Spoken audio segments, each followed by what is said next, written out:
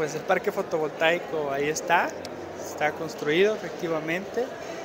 Eh, hay una, me parece que hubo una confusión o hay por ahí una mala interpretación respecto al parque fotovoltaico. ¿Más la fe? Eh, pues, no quiero tomarlo así, eh, digamos que pudiera ser una confusión, ¿no? Hay una primera etapa que ya está construida, que ya está finalizada, ¿sí?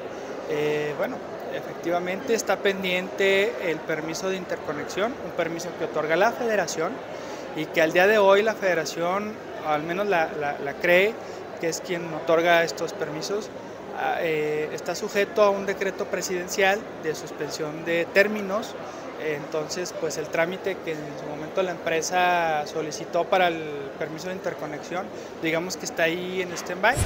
Parque está detenido porque falta el permiso de interconexión derivado de un eh, decreto presidencial en donde están ahorita suspendidos plazos y términos y eso le impide también a la instancia respectiva el poder resolver el, el trámite en concreto. No hay algún tema o alguna situación de la cual eh, está preocupados o la ciudadanía de que se esté derrochando su dinero. Al contrario, únicamente estamos en espera de que se levante este decreto presidencial, que se pueda resolver de manera positiva el, eh, trámite y bueno, pues ya que, que, se lleve a cabo la interconexión. ¿Qué es esto? En, términos lisos y llanos.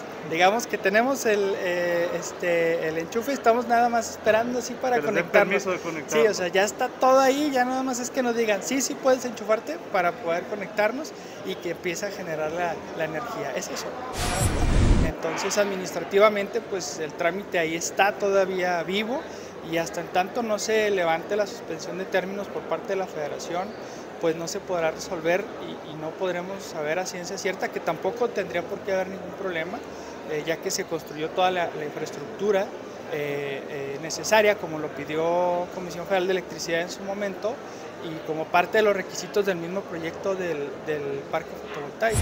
Si llegado el tiempo, llegado el momento, la empresa no cumple con lo establecido en el contrato, pues simplemente ese contrato no entrará en vigor, ni dimos dinero por adelantado, ni tampoco hemos estado pagando algo que no se tenga que pagar, no, no, no, todo está legal, todo ha estado eh, funcionando. Desafortunadamente aquí en, el municipio ese proyecto pues iba muy bien hasta que entró en vigor este decreto de suspensión de términos y dejó ese, ese trámite pendiente de resolverse. No por una cuestión del municipio, no por una cuestión de la empresa, no porque haya algo malo, no porque no se haya cumplido con una situación. Por el contrario, el contrato respecto a esta primera etapa eh, se ha estado cumpliendo. ¿sí? Y bueno, pues eh, desafortunadamente también luego llegan los tiempos políticos y, y, se dan esta clase de malos entendidos, pero bueno, pues ahí está. Al día de hoy no es un parque todavía del municipio, recordemos que una asociación pública privada tiene esa finalidad, el que se puedan llevar a cabo proyectos que presupuestalmente hablando el municipio no cuenta con ese dinero, es por eso que son proyectos a largo plazo, para irlo pagando poco a poco y en su momento toda la infraestructura pueda pasar a manos del municipio, ¿sí? Eh, con todo lo que conlleva. ¿no? En este caso específico, eh, parte de los compromisos asumidos por la empresa que ganó o que nosotros de las condicionantes que pusimos fueron el que nos tienen que certificar como usuario calificado para también eh, poder en su momento estar gozando de los beneficios del parque fotovoltaico.